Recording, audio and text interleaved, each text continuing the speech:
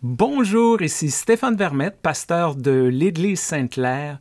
Je vous demande pourquoi devrait-on donner de l'argent à son Église? Et oui, on va là.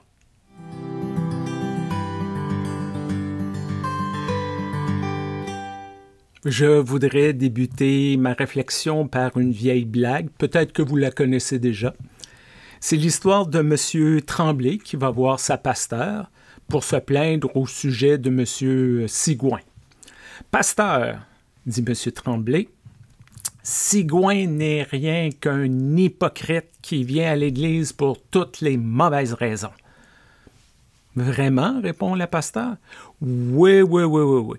Chaque semaine, il arrive avec sa grosse voiture de l'année, ses vêtements chics, sa jeune épouse gonflée au botox, et au moment de la quête, il prend le temps de mettre visiblement son billet de 100 dollars dans le panier. Tout ce qu'il veut, c'est qu'on le remarque. Ah, mais comment savez-vous tout ça? demande le pasteur parce que moi, chaque semaine, je me pointe à l'église juste pour le surveiller et le dénoncer. Cette semaine, nous avons le célèbre passage de l'Évangile selon Marc de la pauvre veuve qui donne ses deux petites pièces en offrande. Et laissez-moi vous partager un secret. Habituellement, lorsque le temps est venu d'effectuer une levée de fonds dans une paroisse, les pasteurs aiment bien ressortir ce passage. Oh, quelle femme merveilleuse!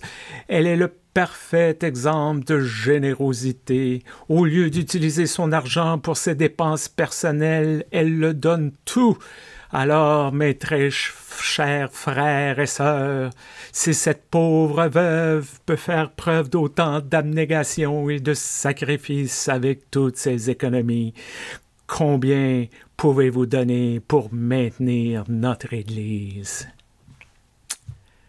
Je ne sais pas vous, mais moi, j'ai déjà entendu quelque chose d'équivalent. Mais dans l'analyse de ce passage, je crois que nous oublions trop souvent où cette histoire se déroule.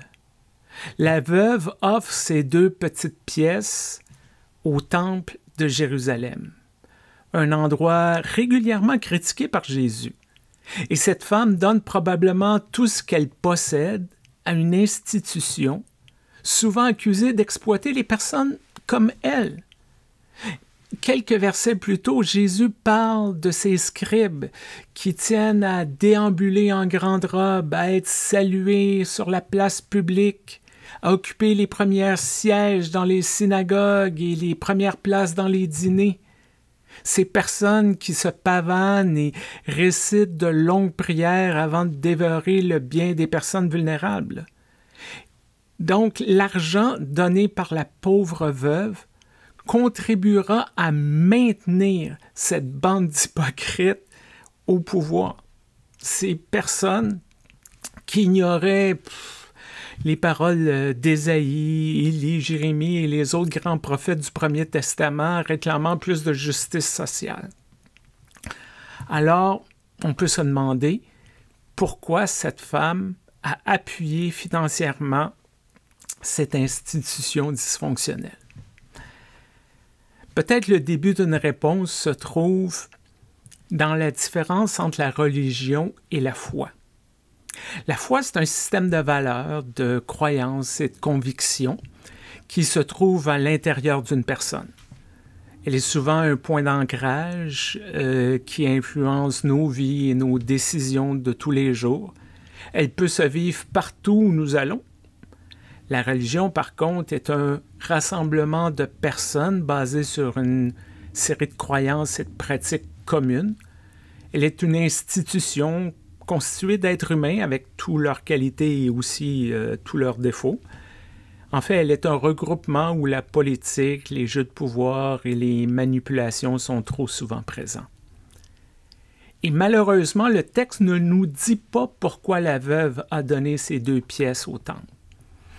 Était-ce une question d'obligation ou de pression sociale? A-t-elle donné par habitude? Peut-être.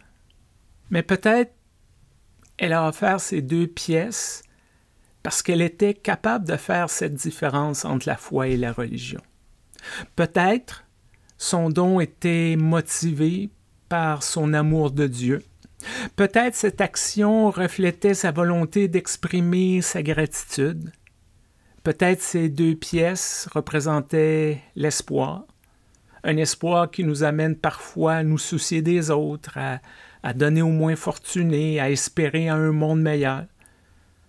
Peut-être cette femme essayait tout simplement de vivre selon sa foi, ses valeurs et ses croyances.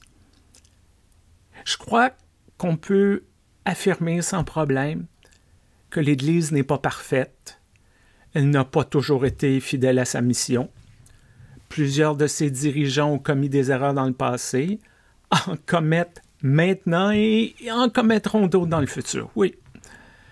Les églises de toute allégeance ont trop de règlements rigides, trop de facteurs d'exclusion et surtout beaucoup trop de passe-droits pour les riches et les puissants.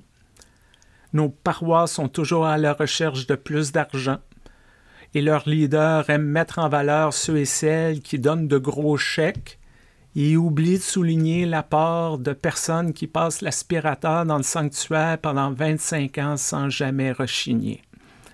Oui, tout ça, c'est vrai, absolument. Et pourtant,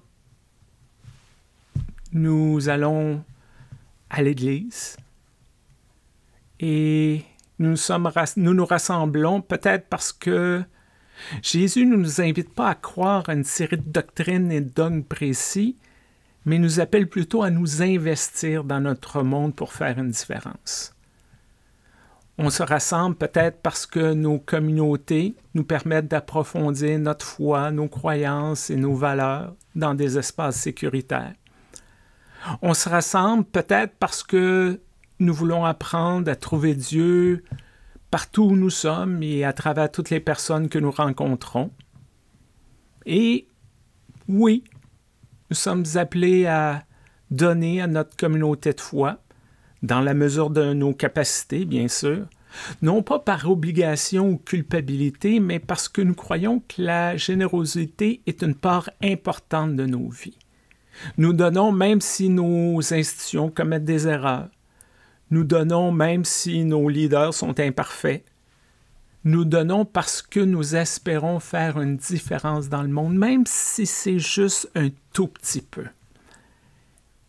Alors, dans le texte de cette semaine, Jésus n'a pas remarqué la pauvre veuve en raison de son sacrifice. Il ne l'a pas remarqué parce qu'elle a fait un don spectaculaire. Non. Jésus a remarqué la veuve parce qu'elle vivait activement sa foi et ses valeurs. Les deux pièces déposées dans le tronc ce jour-là n'ont pas changé euh, les politiques ou les grandes orientations de sa religion, mais ils étaient importants pour cette femme parce qu'ils représentaient son engagement profond envers Dieu. Encore une fois, merci d'être là, peu importe la plateforme que vous écoutez.